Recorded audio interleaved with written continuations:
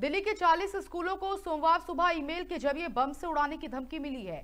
Media reports के मुताबिक इनमें Mother Mary school, British school, Salwan public school, Cambridge school शामिल है। एहतियात के तौर पर सभी स्कूलों से बच्चों को वापस घर भेज दिया गया। दिल्ली पुलिस ने बताया कि बम धमकी की सूचना सबसे पहले डीपीएस आर के पुरम से सुबह सात बजकर छह मिनट पर और जीडी गोइंका पश्चिम विहार से सुबह छह बजकर पंद्रह मिनट पर मिली। और इसके बाद police, dog squad, searching squad और फायर ब्रिगेड की टीमें वहाँ भेजी गई। हालाँकि तलाशी में कुछ भी संदिग्ध नहीं मिला है। धमकी ईमेल के ज़रिए दी गई। मेल भेजने वाले ने बम विस्फोट न करने के बदले तीस हज़ार अमेरिकी डॉलर मांगे हैं। ये पहला मौका नहीं है जब दिल्ली के स्कूलों को बम से उड़ाने की धमकी मिली है। मई 2024 में भी 150 से ज़्यादा स्कूलों में बम धमाके की धमकी से जुड़े ईमेल आए थे।